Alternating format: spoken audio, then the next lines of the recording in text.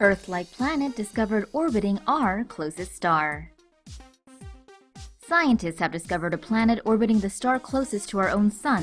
If that's not remarkable enough, the planet lies in the star's so-called Goldilocks zone, meaning it's possible the planet's surface supports liquid water and perhaps even life. The exoplanet Proxima b is believed to have a rocky surface and its minimum mass is 1.3 times that of Earth. It orbits the red dwarf star Proxima Centauri within its habitable zone at a distance less than 5% the distance between the Sun and Mercury. A full orbit, meaning a planetary year, takes about 11 days.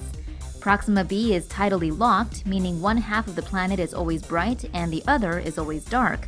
The temperature of the planet's surface could be around minus 40 degrees Fahrenheit. If it has an atmosphere, the temperature could reach as high as 86 degrees Fahrenheit on its light side, meaning it could be warm enough to hold liquid water.